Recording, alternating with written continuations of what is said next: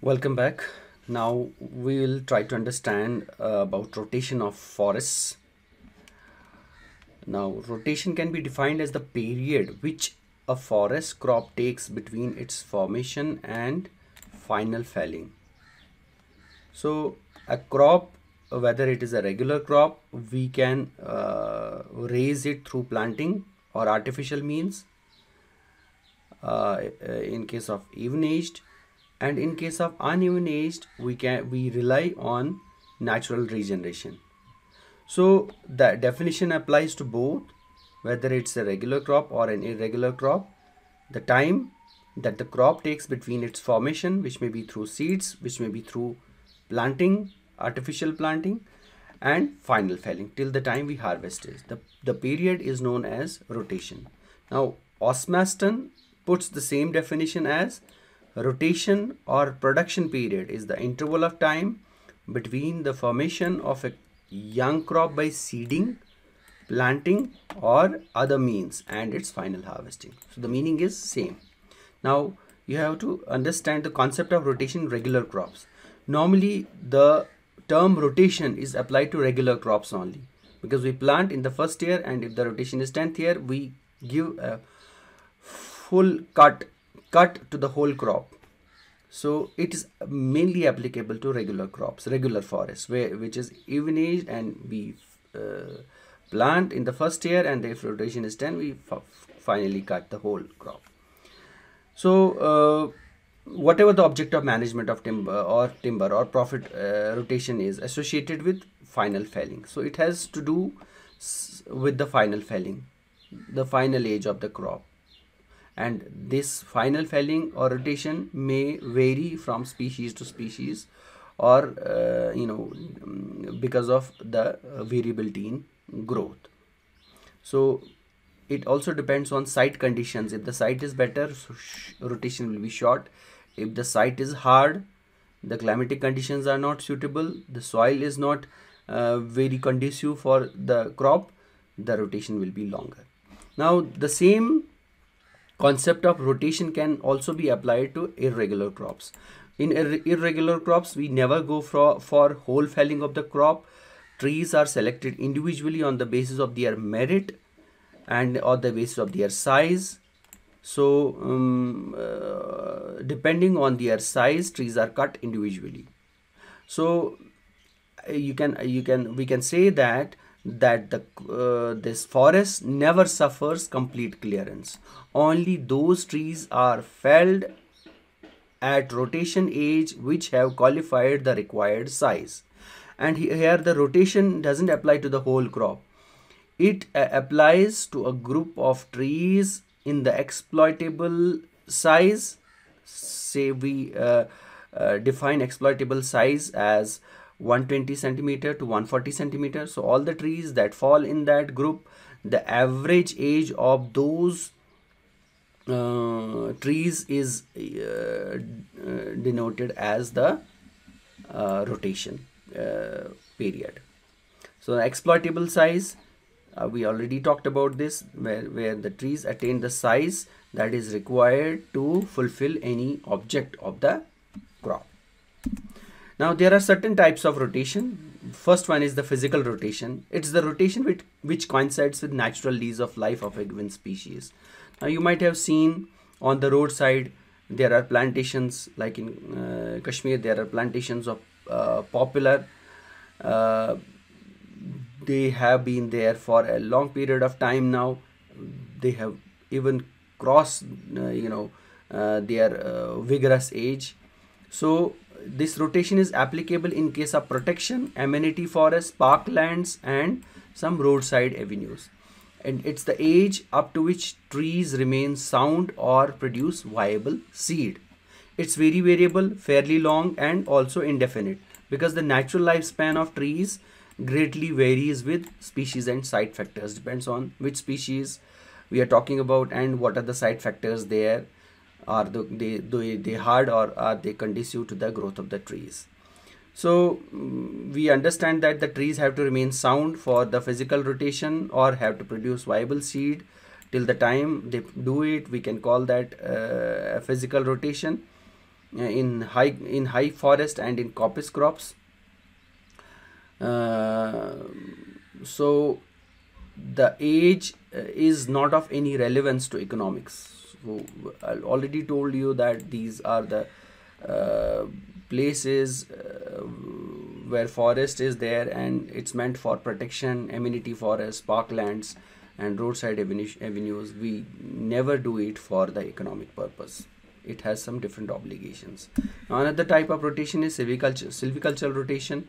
It's the rotation through which a species retains satisfactory vigor and reproductive reproduction on a given site now it is similar to uh, physical rotation. Now uh, the only difference being is it can neither be lower than the age at which at which the trees start producing fertile seeds in sufficient quantity nor beyond the age. So it has a narrow uh, margin uh, other than the physical rotation uh, the physical rotation will be only up to the age at which trees start producing fertile seeds. And when it stops producing fertile seeds we beyond that age we can't uh, denote that as silvicultural rotation.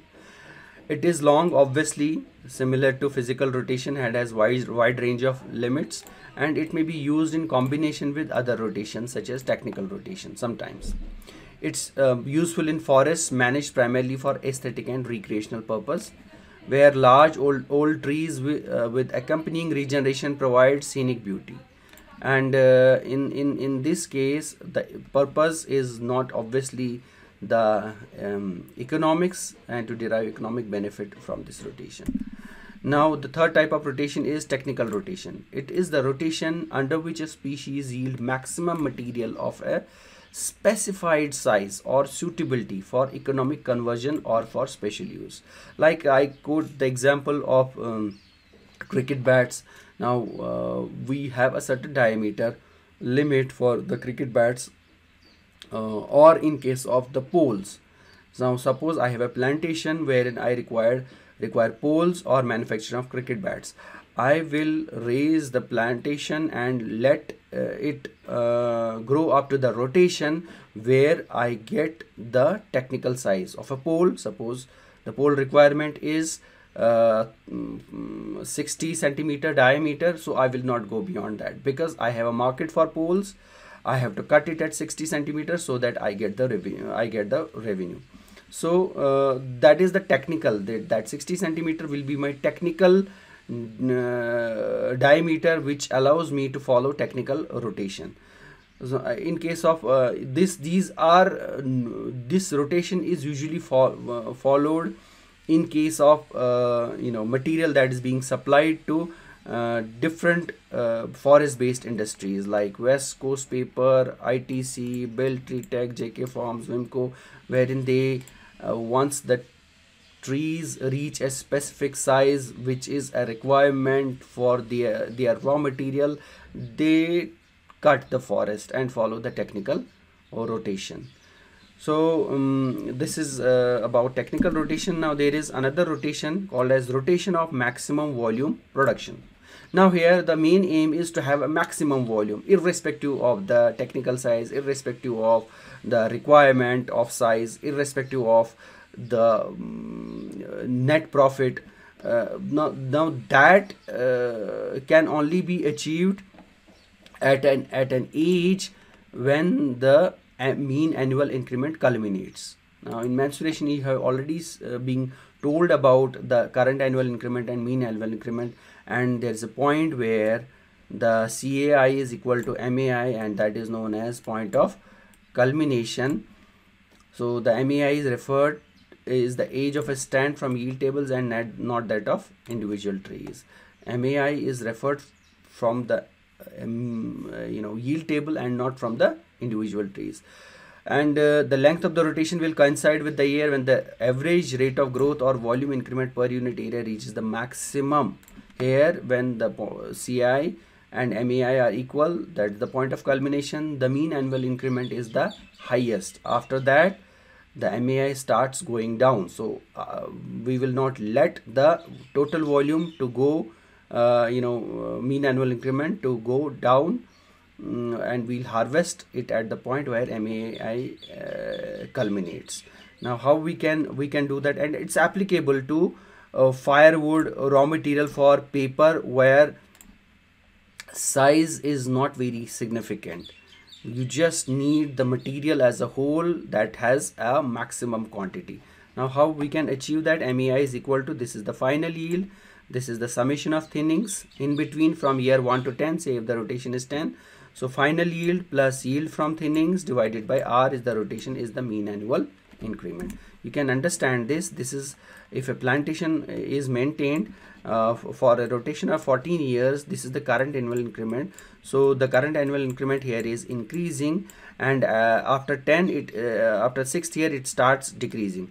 Now here we can see the MAI is in this in the first year MAI will remain same as CI in the second year uh, the MAI will become 4 plus 3 upon 2 is equal to 3.5 in the uh, third year the MEI will become 5 plus 4 plus 3 upon 3 is equal to 4 so it will also go on increasing. Now here MEI uh, CI has started decreasing but MEI is still increasing. And it, it, it, increases up to the limit. See here MEI and CI is are equal. So this is the point of culmination where MEI and CI are equal. This is where the uh, rotation of maximum volume production takes place. That means we have to in this crop where it has a rotation normally rotation of 14 years say silvicultural rotation or physical rotation we but we will have the rotation of 9 years only because uh, this is the point of culmination and we are going to get maximum volume at this point. Hope you understand this. Now there is uh, another rotation known as rotation of highest income or forest rental. It is the rotation which yields the highest average gross or net revenue irrespective of the capital value of the forest. Now if uh, you know a, a, person is given 1 lakh rupees and another person is giving 2 lakh rupees. Now the first person uh, also gets um, uh, thousand rupees as profit and the second person also gets thousand rupees as profit.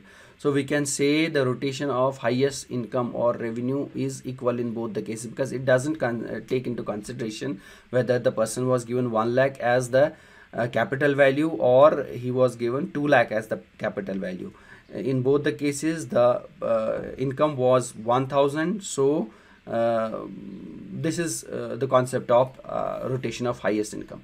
It's calculated without interest and irrespective of the times when the items of uh, it doesn't take into the discounted uh, values or the interest rate of interest it doesn't take that into consideration.